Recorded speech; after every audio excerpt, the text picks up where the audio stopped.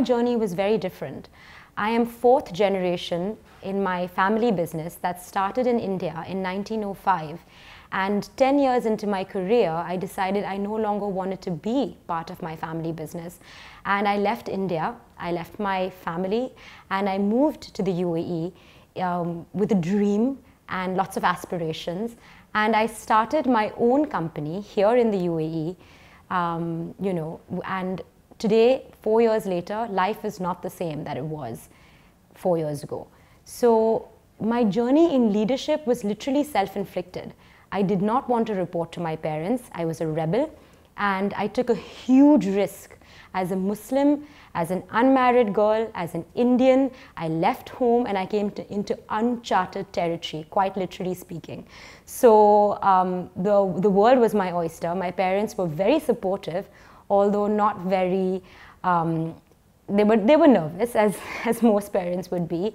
And here I am today. I have a, a team of 10 people.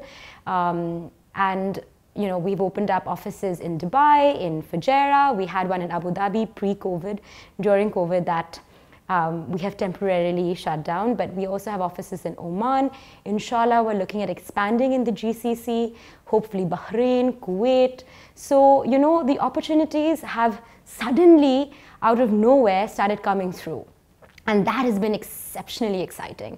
And you can only do that when you're a leader of your own choices. So for me, leadership and the journey has really been making those difficult choices that were never really an option in a family run business.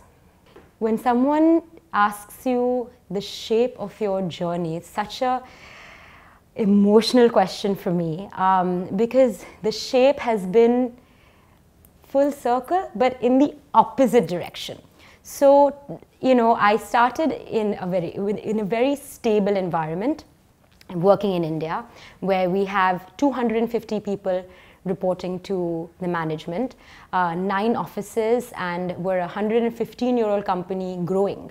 And I walked away from that. So instead of sort of being a linear progression, starting small and then working your way up top, I started up top and crashed all the way down to like nothing.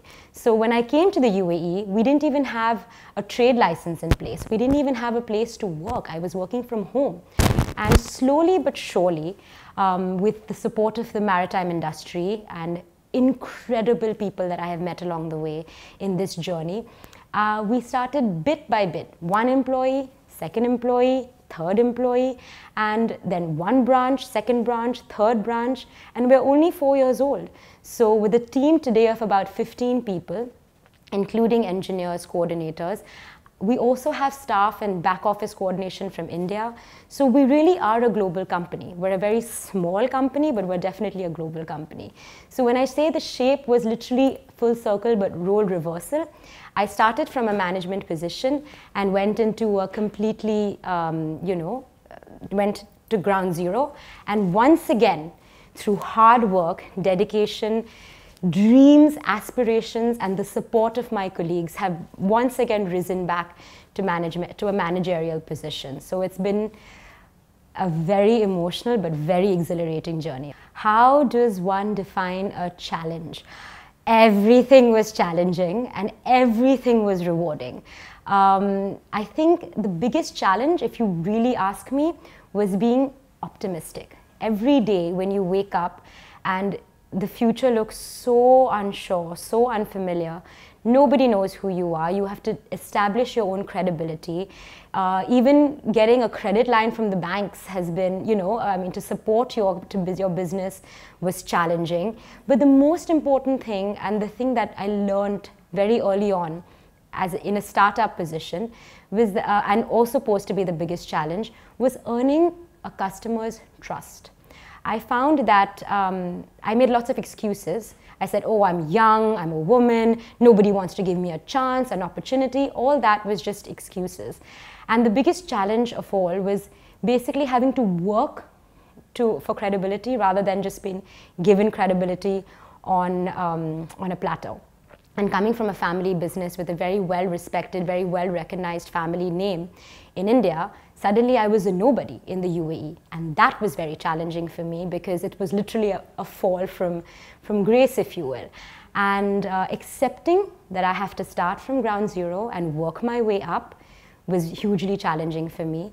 And when I said huge, and I, when I also, when I said rewarding, it was hugely rewarding because the maritime industry in the UAE literally accepted me with open arms. They never questioned my, my dignity, they never questioned my intelligence, they never questioned my technical knowledge. They listened and they let me speak and they gave me opportunities to prove myself. So that's so, I was lucky and fortunate enough to convert that challenge into an opportunity that was eventually rewarding because I'm standing here before you today um, after creating a small success story with four branches and uh, an incredible team that I work with, both at, uh, with my colleagues as well as my customers.